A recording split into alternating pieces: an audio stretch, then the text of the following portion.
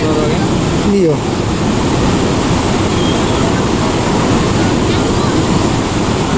terlalu berbahaya lah kan Kayak kayak ikan lele gitu ya? iya kayak patin Kayak patin.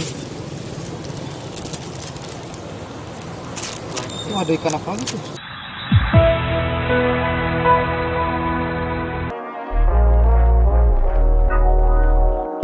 Halo Sobat Nes, jumpa lagi di episode Motovlog Tanah Airku. Petualangan kali ini, kita punya kesempatan untuk menyambangi Bendungan Rancah Sumur Cidurian.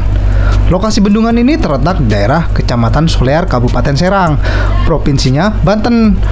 Untuk menuju ke sana sangat mudah. Jika kalian naik motor dari Tiga Raksa lalu menuju Jalan Raya Cisoka, kemudian ambil jalur ke arah Makam Solear dan susuri sungai hingga bertemu persimpangan dan di situlah lokasinya.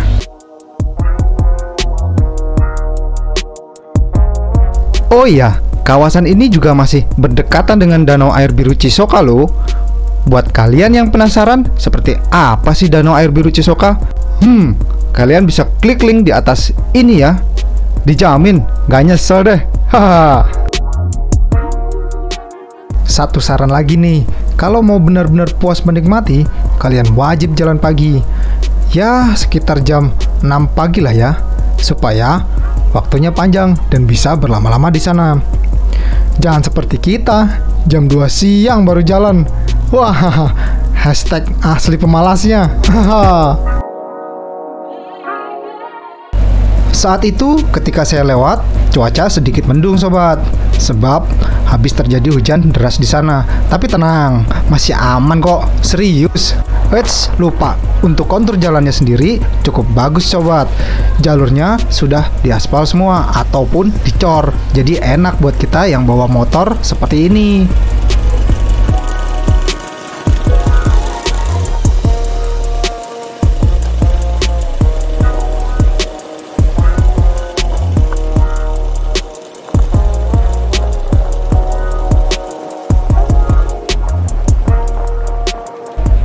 Buat orang kota yang doyan pemandangan alam, pasti suka nih sama pemandangan di sini. Sebab nggak ada keramaian, kendaraan yang bikin macet. Nggak ada yang namanya polusi di sini. Semuanya alami. Hmm, seger pokoknya.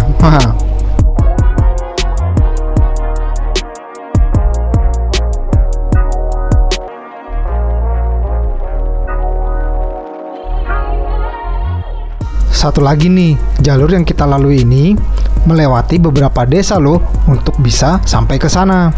Desanya pun cukup indah dan bersih. Rasanya jalan ini seperti menuju kampung halaman sendiri. Maklum, obat kangen yang nggak bisa pulang gara-gara pandemi ini. Semoga cepat kembali normal ya.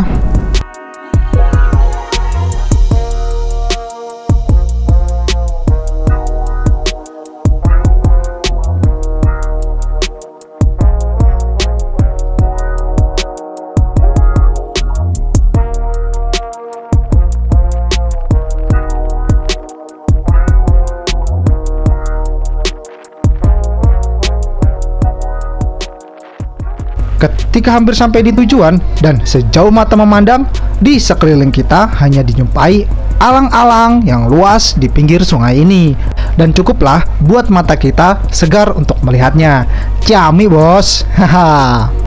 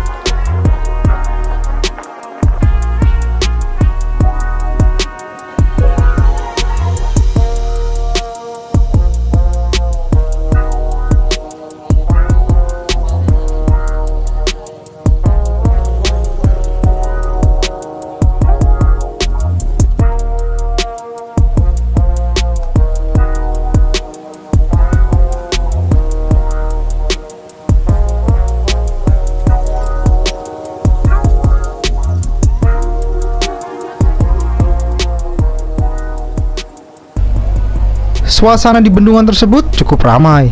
Banyak aktivitas warga yang berlalu lalang menyeberangi sungai hingga mencari ikan dengan berbagai macam cara, seperti dengan joran pancingan, jala ikan, dan jebakan ikan lainnya.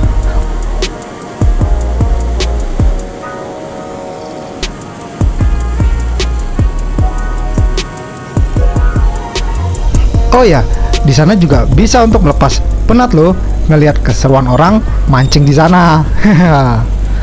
Atau menikmati derasnya sungai yang mengalir jauh hingga sekedar menikmati jajanan yang ada di sekitar sana.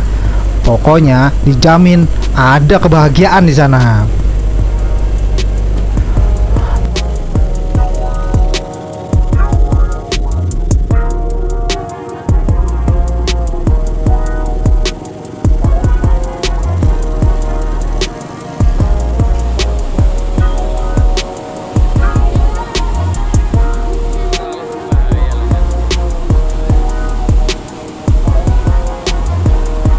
Untuk sejarahnya sendiri, bendungan ini konon katanya dibangun oleh Belanda loh. Bendungan ini dibangun sejak tahun 1915. Untuk tanggal dan bulannya mohon maaf sobat, saya kurang tahu. Tapi untuk luasnya bendungan ini cukup sangat luas. Ya, sekitar 11.536 hektar. Wow, cukup luas bukan? Kalau dilihat dari ujung ke ujung pantas saja terlihat jauh.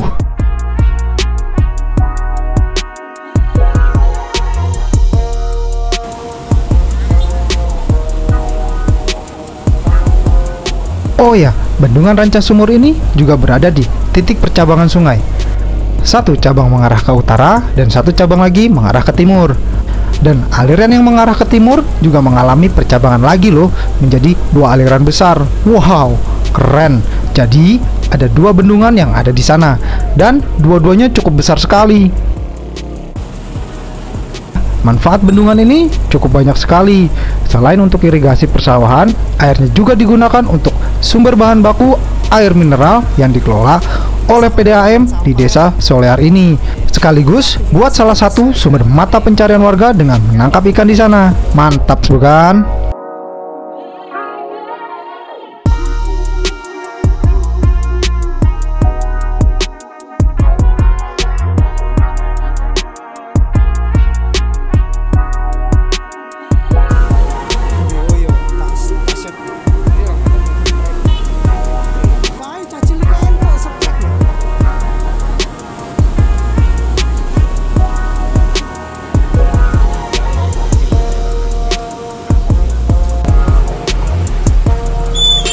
Ikan apaan nih bang? Ikan ini keting. Keting ya? Ya. Banyak ya di sini. ya?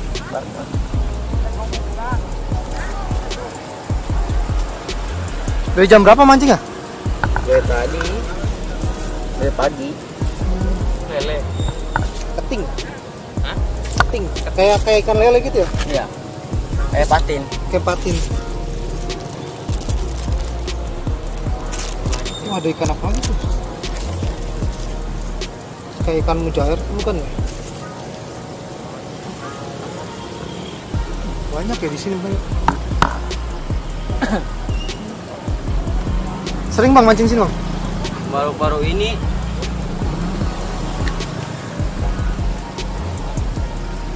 Biasanya dapat berapa?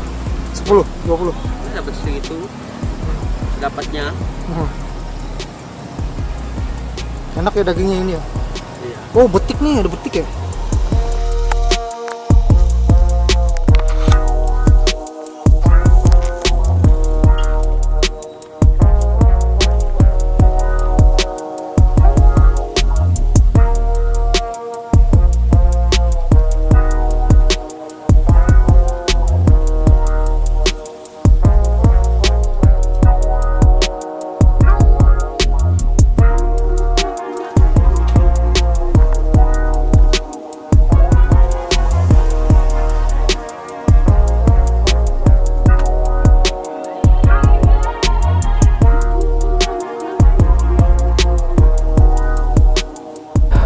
Oke deh, sekian dulu ya episode Motovlog kali ini. Jika ada saran dan kritik, kalian bisa tulis di kolom komentar. Salam Negeri Seribu Petualang. Eits, jangan lupa hashtag jalanku punya cerita.